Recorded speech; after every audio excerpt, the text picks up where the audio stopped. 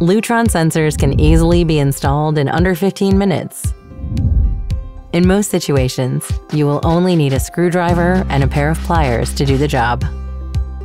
First, turn the power off at the breaker. Double check to make sure the power is off.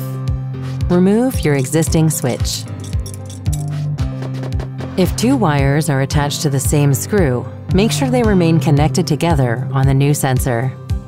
Next, identify if you have a neutral or ground wire coming out of the wall. When a neutral wire is available, remove the green sleeve and connect the white wire to the neutral, and connect the bare wire to ground. If you do not have a neutral wire, leave the green sleeve on and connect both the green wire and the bare wire to ground. Connect one of the two wires from your wall to one of the black wires on your new sensor. Connect the remaining wire from the wall to the other black wire on your sensor. Place a wire cap on the blue wire from the sensor. This is not used in a single pole application.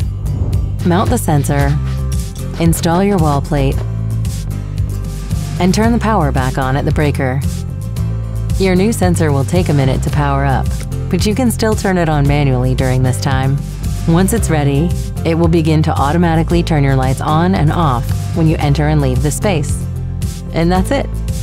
For instructions on how to change the timeout, sensitivity, and sensor mode, visit lutron.com slash OPS5M.